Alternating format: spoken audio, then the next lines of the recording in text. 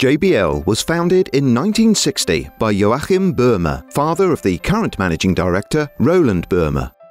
He began with a small pet shop in Ludwigshafen and expanded it to become an ornamental fish wholesaler before gradually beginning to develop his own products. He created the name of the company from his own initials and the first letter of the city of Ludwigshafen, Today, JBL employs 180 people at its plant in Neuhofen in the Palatinate region. The whole range contains over 1500 products for aquariums, terrariums and ponds. Environmental protection, energy efficiency and the protection of resources are high on the agenda at JBL. This begins with the use of solar energy for the buildings and ends with the selection of raw materials and packaging. During our research expeditions to the native habitats of the aquarium and terrarium animals to optimize animal husbandry and enable captive breeding, thus reducing the number of creatures taken from nature. As a result, new foodstuffs, care products, medicines, technical products and accessories are created. How is a JBL product created? Where does the idea come from? And what happens from there? In this short film, we show you the process behind it and offer you a behind-the-scenes look at development and production. It all begins with an idea or a proposal and it's not unusual for these to come from retailers or from aquarium, terrarium or pond owners. In meetings between the Research and Development Division, sales managers and our marketing division, the ideas are further developed and tests are conducted to determine feasibility and specific requirements. The smell and buoyancy of the food are also discussed and tested. The JBL philosophy aims to make aquarium and terrarium keeping, as well as pond maintenance, easier and more professional.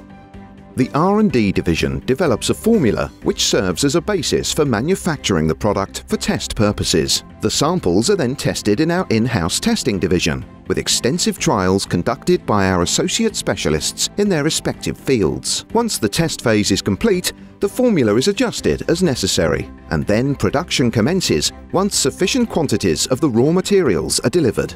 Raw materials, such as wheat, are sourced from the surrounding regions, while others, such as fish, are procured from neighbouring EU member states. JBL only uses fish from sustainable, certified aquaculture in order to actively encourage the protection of the environment.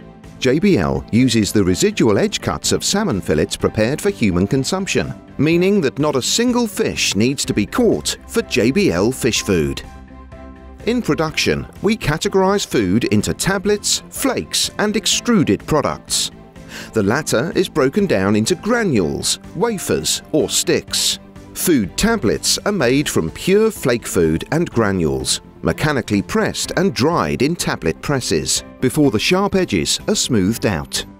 Flake feed is produced in our 15,000 kilogram flaking mill which rolls out the applied feed paste into a paper-thin sheet before drying it. The different flakes are sorted and mixed by size so that each tub contains the same flake size and mixture. Extruded products are produced by the extruder which, while only measuring a metre and a half, requires 2,500 square metres of production space and 17 metres of free height when the supply and downstream processing facilities are included. The feed paste is pressed through holes with the aid of worm screws before being cut. Wafers are produced by cutting off the extruded product very thinly. Granules are produced by applying short cuts, while sticks are prepared by applying longer cuts.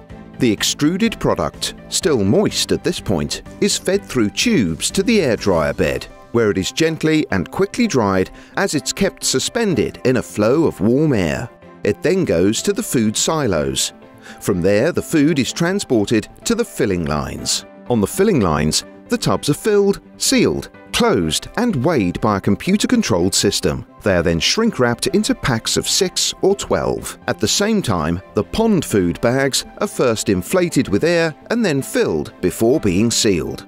In the high rack warehouse facility, all 2,000 JBL products await their orders. Our staff gathers orders for each customer or each country together. They then ship all of the orders via parcel forwarders. And this is how JBL products reach our customers in 65 countries throughout the world.